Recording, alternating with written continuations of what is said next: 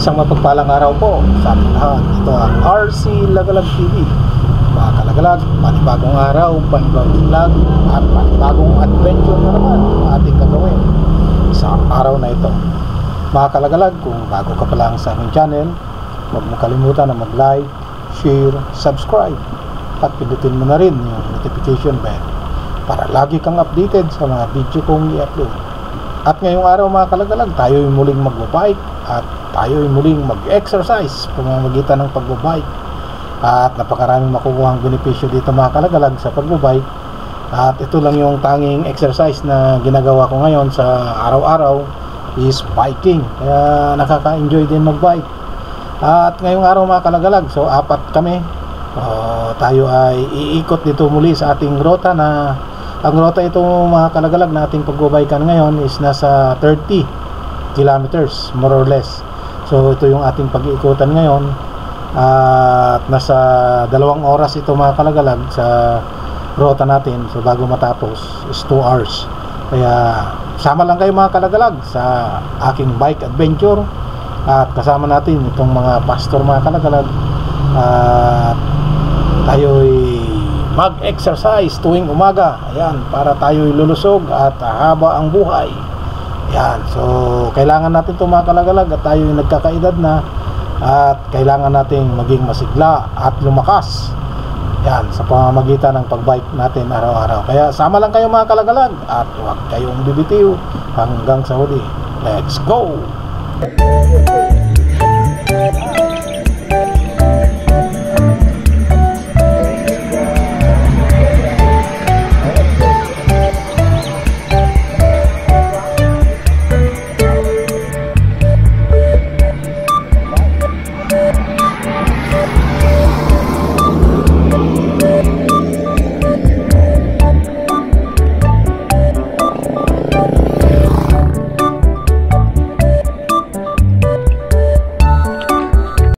So maganda yung rota natin ngayon mga kalagalag at puro sementado yung dinaanan natin. At wala tayong grab road ngayon dahil yung kasama nating isa mga kalagalag ay is ah, racer kasi yung bike niya pang ah, road bike. So hindi siya pwede sa off-road. Kaya pinili natin yung rota ngayon is puro sementado. At kawawa naman tong kasama natin at masisira ito pagka idinaan ito sa off-road yung kanyang bike at sobrang mahal pa naman. Kaya puro sementado ngayon yung ating dinadaanan kaya sama lang kayo mga kalagalag sa aming bike adventure. Ayan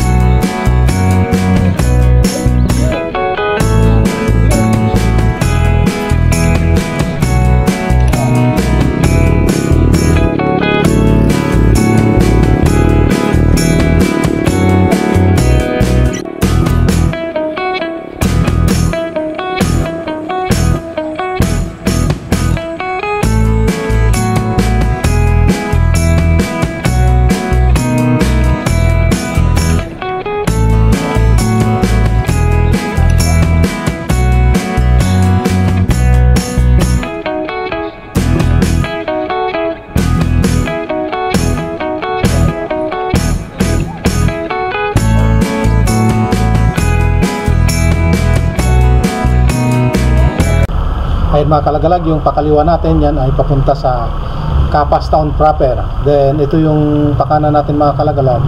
Ito naman yung papunta sa Barangay Lawi, Capas, Tarlac. Ayan, so napakagandang lugar din ito mga kalagalag. Kaya sama lang kayo.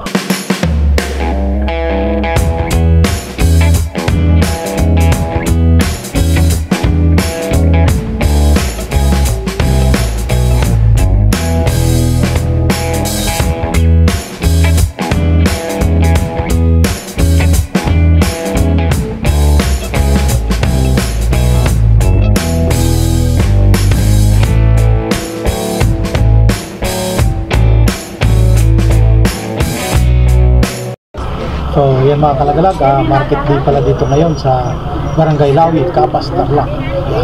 So, kita natin napakaraming paninda sa lugar na dito mga kalagalag at sari-sari yung mga mabibili natin dito. At ito, talagang parang fiesta rin at napakaraming dekorasyon na nilagay ngayon. So, maring fiesta ngayon dito mga kalagalag sa Barangay Lawi. At the same time, ah, market day nila ngayon. Ah, alin na kayo mga kalaglag, mamili na kayo ta, para hindi maubusan. At napakaraming paninda, sari-sari. At nadaanan lang natin ito mga kalagalag sa rota natin sa ating uh, pagbabike. At dito nga sa Barangay Lawi. Eh mga kalagalag, ito yung mga kasama natin ngayon sa pagbabike. Yan si Kuya Dante at yung dalawang pastor mga kalagalag na kasama natin na nasa harapan. Yan, so napakamahal yung mga bike na mga yan mga kalagalag. Sa atin, mumurahin lang.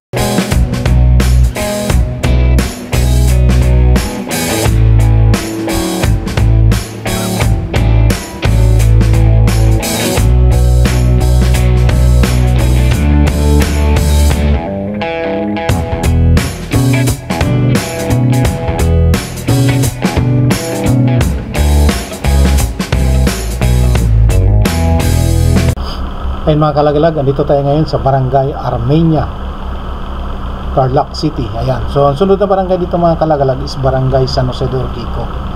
Ayan. At yung nandito sa kaliwa natin mga kalagalag, yan yung Tarlac River na kasalukuyan ngayon ay walang tubig. At summer ngayon, kaya natuyuan siya. So, ngayong tag-ulan, saka palang magkakaroon ng tubig yan mga kalagalag. Pero napakalaking ilog ito mga kalagalag. Ito Tarlac River. Na yung Tarlac River na yung mga kalagalag ay nanggagaling pa yan sa Mount Pinatubo.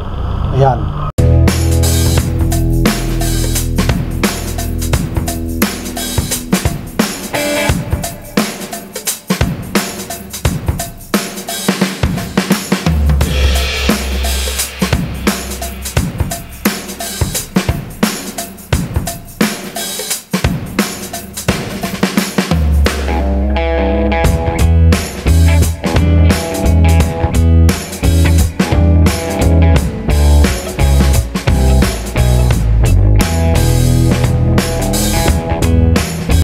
So ayan mga kalagalag, ah, matapos na tayo magbike mga kalagalag at naikot na natin yung ating ah, rota sa pagbabike at yan mga kalagalag ay more or less 30 kilometers yung ating ah, rota ngayon sa pagbabike at tamang-tama lang sa pagpapawis.